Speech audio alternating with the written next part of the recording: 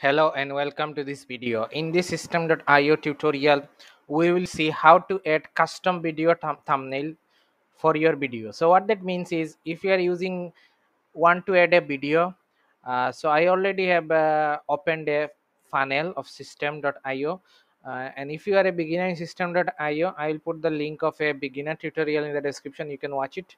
And if you are watching this video, I assume that you already have some sorts of experience using Systeme.io. So I am already inside a uh, funnel. So if I want to add a video, this is very easy. You can just you just need to drag the video element or video module here uh, inside any row where you wanted the video to be added. Then you need to click on this and you then have a direct link of YouTube or Vimeo. And also you can upload the file. So I will in that case I will upload the file so i will click on select file and then i will go to there and upload this video uh, just for the example purpose. Okay so it may take some time regarding to the file size of your video. So if it is a big file like 50 mb to uh, 500 mb then you can just close it until it is get uploaded but don't close the window.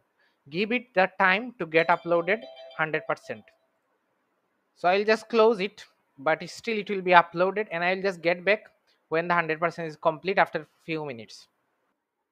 So now if i again go back to the video and then if i uh, need to choose the upload file option again and then click on this uh, upload button and if i go to the your videos now you will find that the video has been uploaded. So select it and click on insert and then the video will be shown. You can give the control for the people as well so also you can do the autoplay if you want but in that case i won't do that. So if i click on the save changes what is the issue here is if i if you see this in the live page that it it will automatically take in the first frame of the video and it will be shown in the preview. But some in some case you may wanted to have a custom thumbnail just like your youtube video or anything.